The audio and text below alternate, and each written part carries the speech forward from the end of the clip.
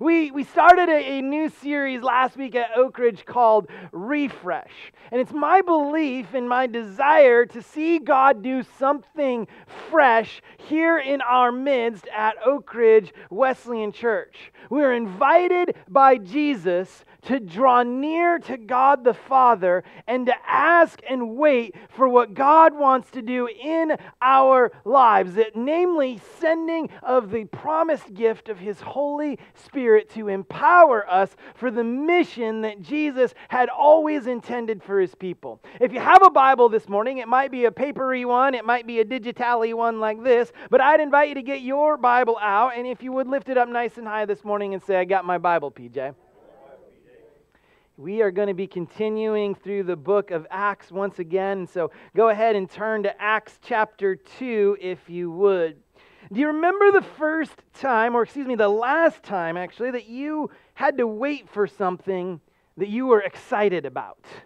You were looking forward to something and, and you were thinking in your mind, this is going to be really good. I've just kind of got to wait for it. Like maybe you remember a TV show or a movie series or a book series, and, and you had been kind of with the franchise for a while and you had gotten to the point where the author or the writer was done, and yet you knew that there was another installment coming. And so you're, you're waiting with anticipation, counting down the, the, the days till the release date. Or, or maybe you have a favorite season. Maybe you really look forward to spring and those, those flowers beginning to pop, like Pastor Castilla was talking about earlier. It's that first warm day of summer, or the first cool, crisp day of fall, or the first snowfall of winter. Although, if you look forward to the first snowfall of winter, you're probably not present here in the sanctuary. You might be joining us online this morning.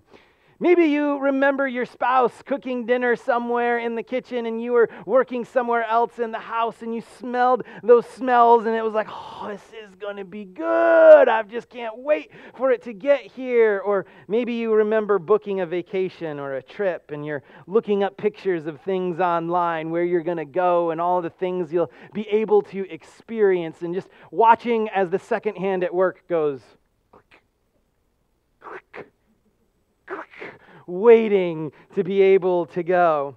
I know for me, one of the things that always I get excited and it's, it's kind of hard when I'm waiting is when I order something online and then I have to wait for it to arrive at my house.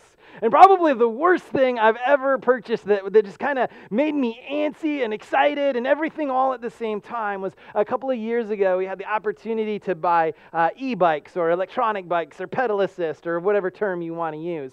And we were really excited to purchase them. They, they weren't very inexpensive, but we were really excited for the opportunity that they were going to bring us. And I remember we'd researched different brands and we picked out the one we wanted and we went online and we paid what seemed like way too much money and immediately we get the notification that the money has left our account. And that's about it. and I remember that they had told us it's going to be like 12 to 16 weeks before they actually arrive. And so I, I knew that going in, but it was like the moment I purchased it, the money was gone. And I remember like every day I'm like at the website, is there any updates? Like, are, is the factory building this thing over in China or wherever it's built? And, and every day I'm there wondering and wondering and wondering, and like months go by, and suddenly I get the email Your bikes have shipped. And if I was on the website like every day before, I was on the website like every hour at that point, like, why can't they put a GPS tracker on my package? Finally, they arrived, and I was super excited for that moment. The disciples in the opening chapters of Acts are in this waiting pattern, waiting on the Lord. Jesus had been with them and he had completed the work that he had come to do his, his life, his death, his resurrection, and his ascension. And Jesus, the, the guy that had bodily walked around as God in human flesh for like the last 30 years, with them the last three and a half years or so, he'd gone back in heaven. And he said, The Father has something good for you. In fact, during his time on earth, he said, This is going to be better than when I'm physically walking around. God wants to do something in the sending of his Holy Spirit in your life. And we read in Acts chapter 2 the moment when the Holy Spirit arrives. It says this When the day of Pentecost came, they were all together in one place stop. Who, who's they and, and what is this one place? If we back up a little bit into chapter 1, it says that there's about 120 disciples, followers of Jesus, that were gathering together as part of the early church. And the number 120 is kind of significant, actually, because if you go back in Jewish tradition, according to the rabbinic teaching of the, the, the oral teaching of the rabbis at that time, that was later recorded as what we call the Mishnah, they would say 120 is the base number for like a group of people that could be considered a city or maybe a legitimate group within Jewish culture. And so there's 120 people, and they're gathered together in one place. We're told they met together in an upper room, although we're not told exactly what that upper room was, whether this was the same upper room where they had the Last Supper, whether this is some wealthy person who's followed Jesus and they're allowing them to be there. Now, 120 is a pretty big group, so it's a pretty big room. It have to be something about like this size, right, to fit that. And it could have been uh, a, a, room in the, the temple walls, in the temple courts. We know a little bit later that the disciples kept meeting there. But we know this, according to Acts 2, verse 1, that when the day of Pentecost came, they were together in one place.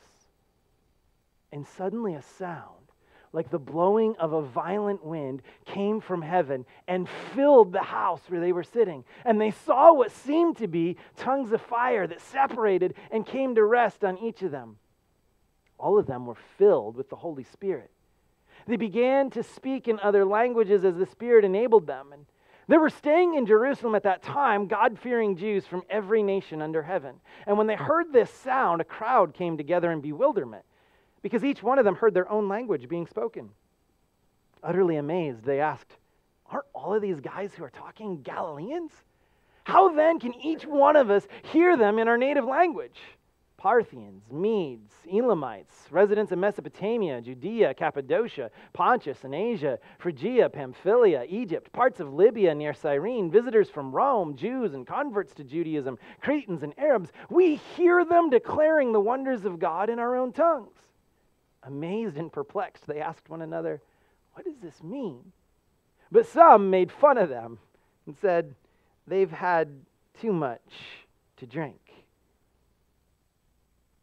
This story recounts for us the moment when the Holy Spirit comes and breathes fresh breath and fresh fire into this group of people. Something that sounds like the blowing of a violent wind and looks like tongues of fire that rest upon this group that is here. And for us, this morning at Oak Ridge, what I hope you're desiring in your life, and what I hope that you're desiring for our church is a movement of the Holy Spirit in your individual lives and in our corporate lives. A desire to say, I believe in who Jesus was. I believe he really lived, really died, really rose, and really ascended to heaven.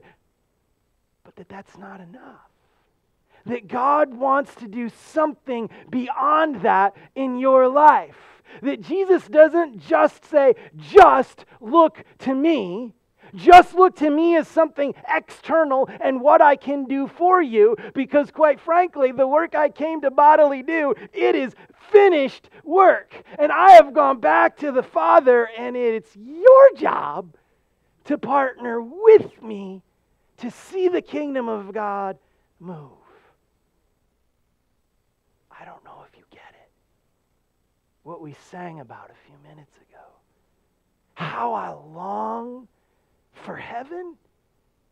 That doesn't mean I sit here in a comfortable blue chair and wait for it to get here. It means right now.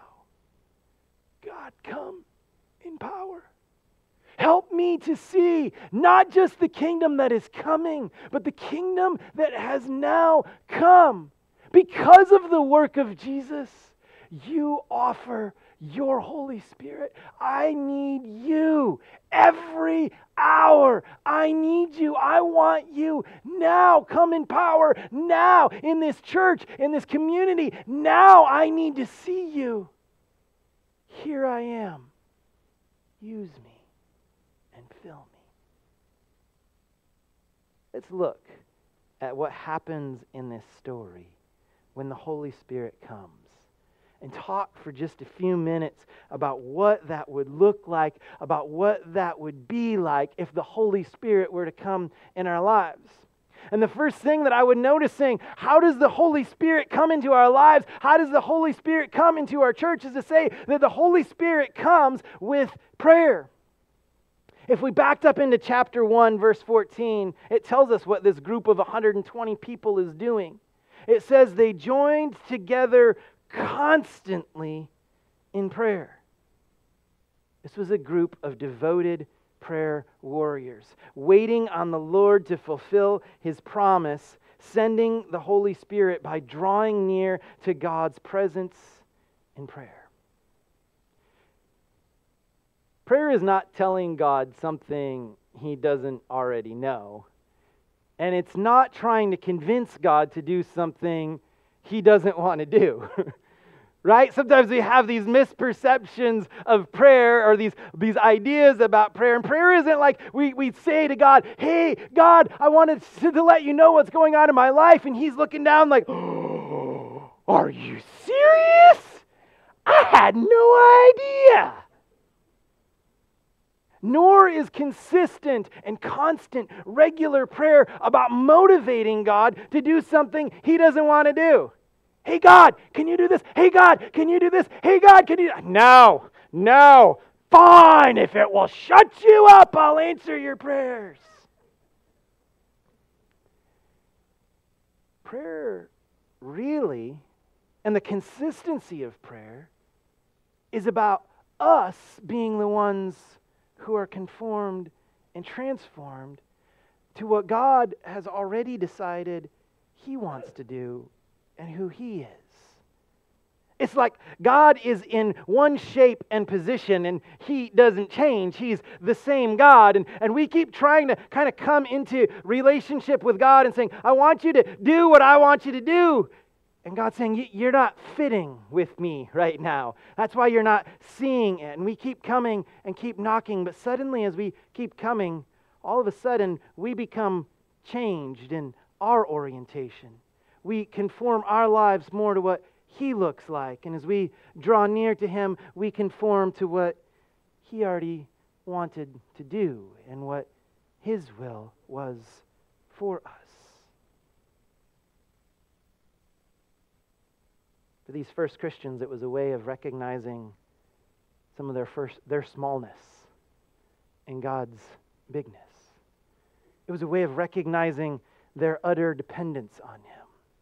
It was a way of saying, God is God in heaven, and He has a mission for this earth. And He just did His part life, death, resurrection, ascension. And He wants me to pick up the rest. I feel pretty small and pretty dependent on Him. Do you want to see the Holy Spirit in your life? Do you want more than merely saying, I've prayed a prayer and I bought fire insurance so that I can go to the good place later on but I actually long to see the power of God flowing in and through my life. I want a real and a genuine relationship where I abide in Him and He in me. I want to see my community and my family and my church transformed. I want to see the miracles of God happening. Do you really want what the Holy Spirit says you can have? Are you praying? Are you really? Are you praying in a way that allows you to be changed? Not just gimme, gimme, gimme, gimme, gimme. But help me see you. Help me really know you. Help me to wait on you until you have conformed and changed and transformed me, and you know that I am ready to receive what you have already determined is what you want to give me. There was a power that caused Jesus to rise from the dead after the Roman execution. A dead guy rose. And that power, That same power that brought Jesus back from the grave was available to these disciples. They had watched Rome hang Jesus on a cross, and they knew that same fate could await them. They were desperate for a power that was bigger than themselves. They were desperate for this Holy Spirit that comes with prayer and comes with purpose.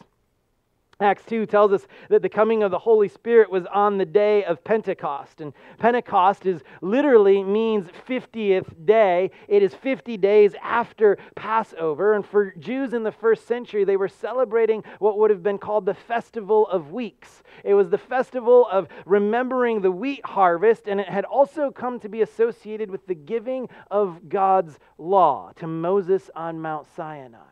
And every Jewish male, no matter where they lived in the world, was required to make a trip to Jerusalem during the Festival of Weeks. And that's why this passage tells us that all of these people are gathered from all of these nations that some of you are like, I'm glad you pronounce that. I don't want to be doing that.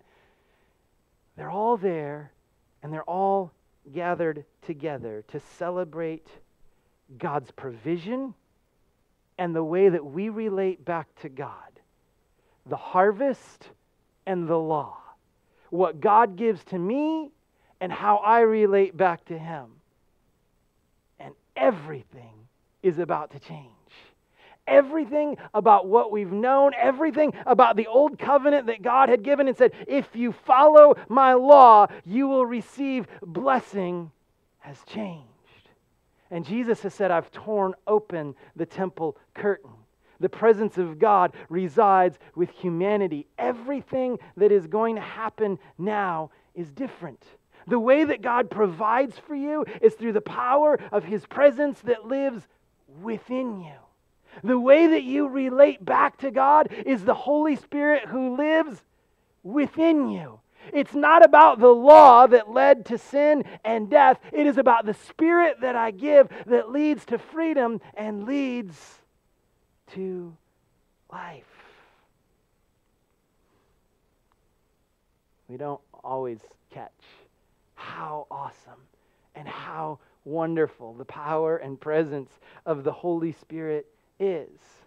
For many of us as Christians, we still say things like, Wouldn't it be really cool if I could just see Jesus physically in front of me?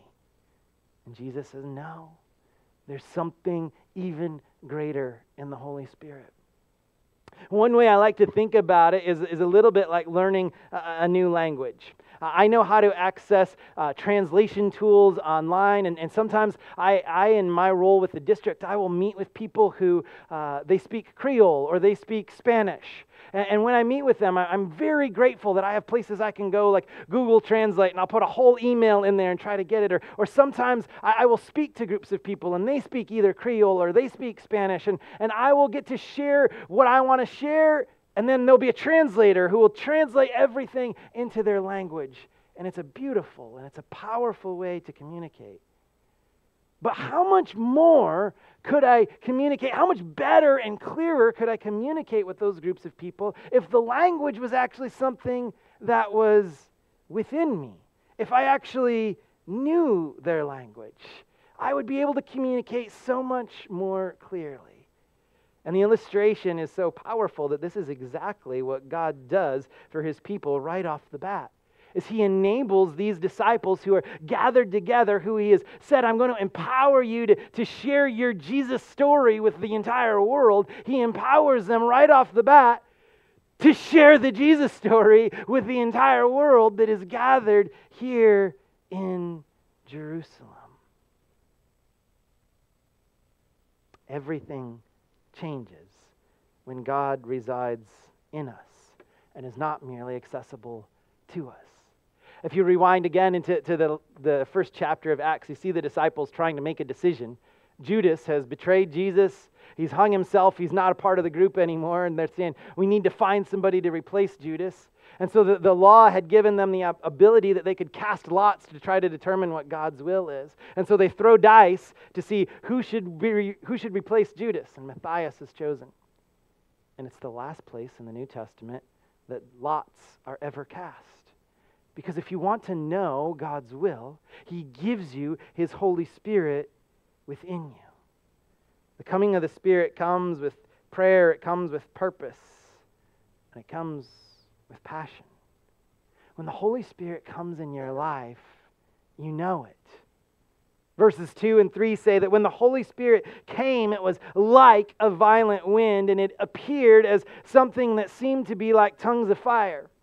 Which means we don't know if there was actually literal wind or literal fire, but the people who were sitting there were saying to themselves, We don't know how to describe this event. It sounds to us something like rushing of wind in the household. It looks like whatever's happening, we have some kind of a vision of something happening, and it, it looks like tongues of fire that are coming to rest upon God's people gathered here.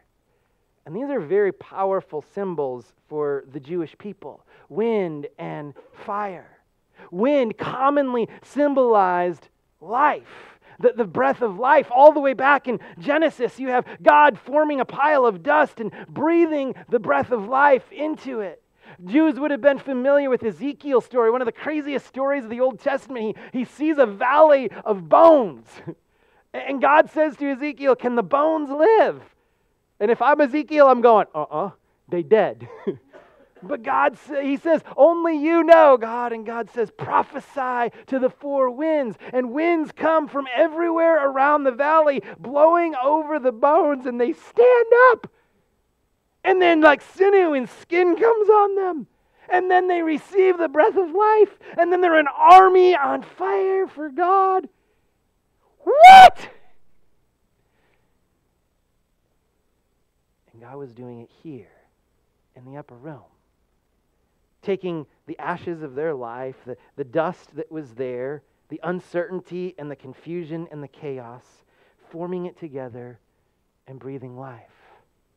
Everything they thought they wanted the kingdom of God to be, to put them in power, everything they thought they wanted a Messiah to do for them didn't happen, and they felt like a group that was just dead and kind of lost until the Spirit began to blow over their lives and pick them up together. There's something about the coming of the Holy Spirit that comes in passion, that comes in a way that you feel it, that you know it, that you are changed and transformed by it. Acts says it sounded like a rushing wind. We live in Florida we know what the sound and the feeling of rushing violent wind sounds like. It leaves things changed and transformed. And when the Holy Spirit comes in your life, you don't just sit in a chair and put on a nice shirt and say, God is good but your life is radically transformed. It is blown apart. You are something different because the very power of God has come and made something completely different of what your life was. The Holy Spirit comes with prayer and purpose and passion and power. If wind symbolized a giving of life, fire symbolized God's power for his people. The first century Jews, they would have been aware of these moments, their stories that they had shared, how God spoke to Moses and called him in a burning bush, how God led his people out of slavery in Egypt by a pillar of fire at night, how Elijah stood on a mountain, and all of these prophets of the false gods could not get their God to answer their prayers, but Elijah, he, he tilted the scale so far against God, it's not funny, and God showed up with power and with fire. Here in Acts 2, when that fire falls on these first disciples, they are immediately enabled to do what Jesus told them they would do. They begin to witness and to talk to people about everything that they had experienced. The streets at Pentecost would have been packed people from every nation packing out the city. Residents from all of these countries as far away as Rome. And yet each one of them hears these disciples sharing the message of Jesus in their own language. What a dramatic display of God's miraculous power. And one that I think has less to do with the people hearing it and more to do with the people sharing it. I think God was trying to say something to the first people who were the ones wondering, how am I now speaking a language I've never learned before, and people are hearing it that way. And Jesus is trying to help them understand that the power of the Holy Spirit will enable them to be his witnesses in Jerusalem, Judea, Samaria, the ends of the earth, and near, here, hard, and far places that I will send you. It's like a coach. If a coach goes to a team that's been losing for a long time, and they're accustomed to losing, and it hasn't been going well, the coach knows that they're not going to come and in year one win the championship for their team. And so they go and they begin to assess the players and they begin to build a relationship with them. And their first goal is to say, I want these guys or these girls to begin to feel what it looks like to win. I'm going to find what the victory in their life is. The victories in their personal life, the victories in how they play the game, so that as they begin to have small wins, they begin to believe I can win the next victory. I won this small one for me personally. I won this one with my group. My team won a game against somebody we probably should have beat. My team won a game against somebody maybe we shouldn't have beat. My team won a road game against somebody we should have been decimated by. We can win. And Jesus is trying to show these disciples the mission that I gave you the thing that seems daunting and seems scary and seems bigger than you, you will do when my Holy Spirit comes upon you. I will empower you with my Holy Spirit, and you will be my witnesses in places that are near, here, that are hard, and places that are far. When you don't know what to say, when you don't know the right language, I can even teach you, I can even empower you to share a language you've never learned. It probably won't always work that way for us, but it can, and it has. And I think what God is wanting to say is, you will move in my power. I have this kingdom that I want you to build. And it's not your power, it's not your strength, it's mine working in you. And as you continue to wait on me, and as you continue to receive my power in your life, I will enable you to be my witnesses everywhere you go, with everyone you meet. And you will find yourself having conversations where you go, I never would have even thought of that. I don't know why I shared that. I don't know why I did that. I just trusted that maybe God had something He wanted to say to this person. And God somehow moved in their life and drew them closer to Him. The Holy Spirit comes with prayer, purpose, passion, power, and perplexity. The people who watched what was going on with these first Christians were perplexed. They didn't quite get it. Apparently, several of them started to, to mock and to tease this group, saying, These guys have got to be drunk. They just look crazy. Watching these first Christians being filled with the Holy Spirit didn't quite make sense. They looked different, strange, weird, even. If you're really following Jesus, chances are you're going to find that time where somebody looks at your life and goes, You look a little weird. In fact, if you've been a believer for a long time and you've never had anybody come up to you and look at the joy that you have and the way that you face life and the way that you embrace difficulty and hardships and seasons of life that seem to crush the rest of the world, and you've never had anybody say, Are you on something? You might need to check how in line with the Holy Spirit you are. But there's something about us that's different.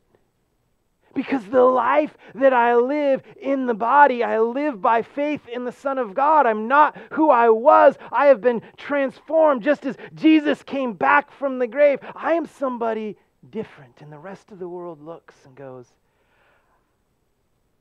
I don't quite get it. there's something weird about you, something different. The biblical word is holy. You just kind of seem set apart from the rest of the world. Sometimes being weird is a good thing, and rather than trying to run from it or hide from it or make sure that nobody else really thinks you are different or weird, maybe it's something to embrace and to say, God, how do you want to use my life? How can I look different in a way that points back to you? Not just weird for weird's sake, but weird for your sake different in a way that others say, I want to know about this power that is at work in your life. The coming of the Holy Spirit was one of the most dramatic stories in all of Scripture. God was breathing a fresh breath of life into this group of people. And he was coming with fresh fire to say, I want you to have my power to build my kingdom. I'm empowering you to be my witnesses. This Holy Spirit comes with prayer and purpose, passion, power, and perplexity. And I want him. I want him in my life. I want him in your life. And I want him in this church. And I hope that you do too. I hope that Sundays aren't just a habit. I hope that the gathering place isn't just nice and comfortable. I mean, we work hard. We want it to be a, a good worship service and an experience that engages your heart, but, but I want so much more than that for it to be more. I want you to encounter the Holy Spirit here when we're together. I want us to draw near to the Lord in prayer, and I want to encourage you in your life not just to sign your name on the contract and say, Yeah, I believe the things about Jesus. But like we started this year off with, that you would be invited to step into the more of God. A God who, who came, who, who lived, who, who died, who, who rose again, and who ascended into heaven. That you might look at your life, your life, that you would look at your life differently than you have. And that you wouldn't just believe all of the lies that Satan has tried to get you to believe and accuse you of who you are and what you cannot do. But that you would say there's a God in heaven. He created everything. He desperately loves me so much so that Jesus would do all that he did for me. And that God is real. And He is refreshing my world. He is making it new again. His idea at creation, it's His idea for eternity. I want to see Him make everything new.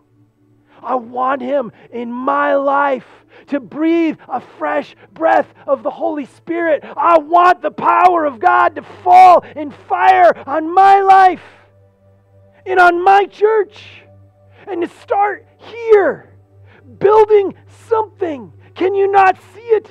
I am doing a new thing. But only if you believe in me. And only when you stop listening to Satan's lies and you look at yourself and you say, it's not about what Jesus can do for me, but I believe in everything He has done. And it's about what I can do, empowered with the presence of His Holy Spirit, to be a part of His kingdom, to be a witness of His kingdom everywhere I go. And so, God, here I am. Conform me to you. It's not about what I want. It's not about things going my way or going easy. It's about your kingdom. It's about you. It's about what you want to do to bring us into relationship So change me. Change my position. Conform me to look more like you. And God, when you're ready, send your Holy Spirit that I might be filled with the power and the presence of Almighty God to do what I've been designed to do, to partner with God in bringing His kingdom to earth as it is in heaven. The enemy will lie and tell me I can't, and I'm not good enough, and a million other things. But help me to wait on you, to be filled with you. Breathe the fresh breath of the Spirit into our lives today, Jesus. And help us to sense the fresh fire of your Holy Spirit that doesn't leave us the way we came in, but changes and transforms and sends us on your mission. In Jesus' name I pray. Amen. I want to remind you again of the opportunity to give in worship through your tithes and offerings. Uh, there again are plates available as you exit the sanctuary, and you can go to oakridgewc.com slash give to give online. We want to invite you back. Next week, we'll be continuing our refresh series, but of course, before that, we want to invite you out to what I feel is one of the best events in the life of the church family the opportunity to baptize those who are making a profession of faith. And so, we would love to invite you out to Sand Key State Park to be a part of that wonderful celebration this evening. Go with God and have a great week. God bless.